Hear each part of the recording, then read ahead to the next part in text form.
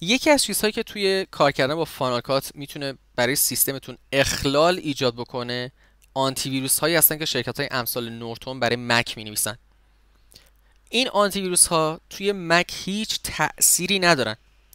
من الان 8 سال دارم با اپل کار می‌کنم و راستش بخواین تا به حال یک مورد ویروس ندیدم.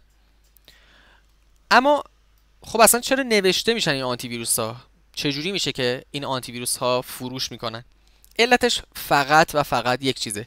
فرض کنید که شما توی پیسی شماره یکتون یک فایل آلوده داریم به ویروس. این فایل رو کپی می‌کنید توی مکتون. این فایل توی مکتون هیچ تأثیری نمی‌ذاره. یعنی وجود ویروس توی مکتون اصلا تفاوتی با اینی که شما یه عکس داشته باشید نداره. کاری نمی‌تونه بکنه توی مک به دلیل اینکه اصلا سیستم عامل متفاوته و ویروس نوشتن برای OS X اصلا به این راحتی ها نیست. یعنی اصلا ویروسی که توی ویندوز کار می‌کنه اصلا توی OS X کار نمی‌کنه چون کاملا دو تا سیستم عامل متفاوتن. نورتون آنتی ویروس شما از اونجایی که ویروس های PC رو می‌گیره و بهشون حساسیت داره میاد میگه من این ویروس رو گرفتم. و ممکنه شما خوشحال بشین بگین اه خب حالا مک من دیگه سالم موند. دیگه ویروس توش تاثیر نمی‌ذاره. غافل از اینکه این کلکیه که در واقع نورتون یا آنتی ویروس های دیگه می‌زنن برای اینکه مشتری ها رو مجاب کنن به خرید یه همچین نرم افزارهایی. تنها مزیتی که می‌تونه این کار داشته باشه اینی که شما اگر این فایل رو به PC دوم منتقل بکنین دیگه ویروس از توش پاک شده.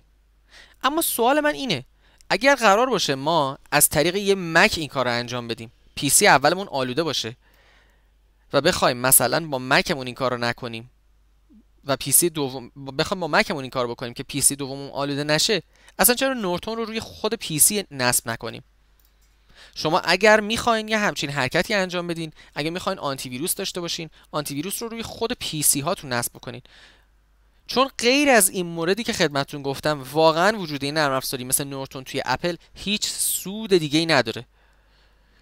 اما چه کاری انجام میده؟ نورتون توی اپل چون میاد دائم درگیر می‌کنه هارد رو و توی چیزهای دخالت می‌کنه که اصلا توی پروسه edit می‌تونن اخلال ایجاد بکنن فقط برای شما درد سرسازه.